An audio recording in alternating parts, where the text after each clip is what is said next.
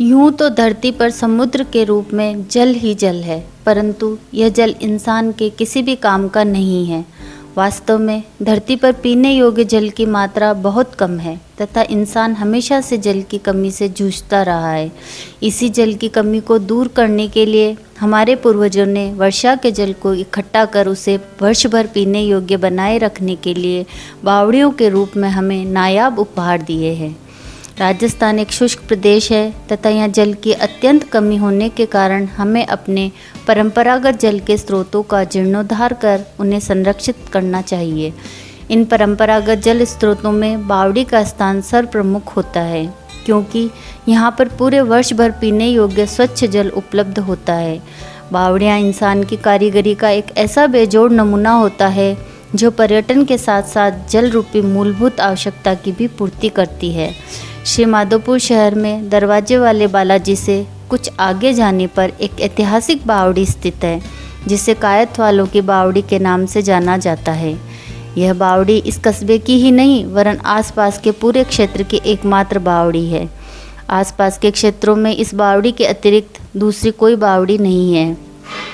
किसी जमाने में श्री माधोपुर से गुजरने वाले राहगीरों के विश्राम तथा उनके लिए जल की व्यवस्था करने हेतु श्री मोतीलाल कायतवाल द्वारा सन सत्रह में एक तिबारी तथा बावड़ी का निर्माण करवाया गया। इन दोनों के साथ ही साथ बालाजी के एक मंदिर का भी निर्माण करवाया गया। उस समय यह बावड़ी अत्यंत भव्य हुआ करती होगी। इस बात का अंदाज़ा आज भी इस बावड़ी की जीर्ण शीर्ण हालत देखकर लगाया जा सकता है। यह बावड़ी काफ़ी लंबे चौड़े क्षेत्र में फैली हुई है तथा इसकी गहराई लगभग चार मंजिला है। इस बावड़ी में महिलाओं तथा पुरुषों के प्रवेश के लिए अलग अलग द्वार बने हुए हैं, जिन्हें क्रमशः जनाना प्रवेश द्वार तथा मर्दाना प्रवेश द्वार कहा जाता है। कोड़ियों की आरइश एवं कलात्मक भित्ति चित्रों से युक्त यह बावड़ी शिल्प एवं स्थापत्य कला का एक नायाब उदाहरण होकर किसी भी शाही बावड़ी से कमतर नहीं थी। इस बावड़ी के मेहराब युक्त दरवाजे, लंबे लंबे गलियारे तथा सुंदर सीढ़ियाँ इतिहास को अपने अंदर समेटकर अपनी बर्बादी की कहानी कहते हुए आँसू बहा रही है। परंतु अब इन आंसुओं की सुध लेने वाला कोई नहीं बचा है।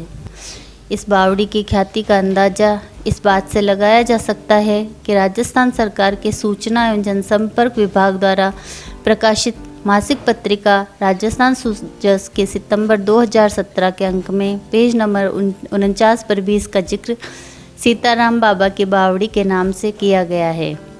हमें हमारे पूर्वजों से प्राप्त इस अमूल्य धरोहर को उपहार समझकर अपनी जी जान से उसकी देखभाल करनी चाहिए थी।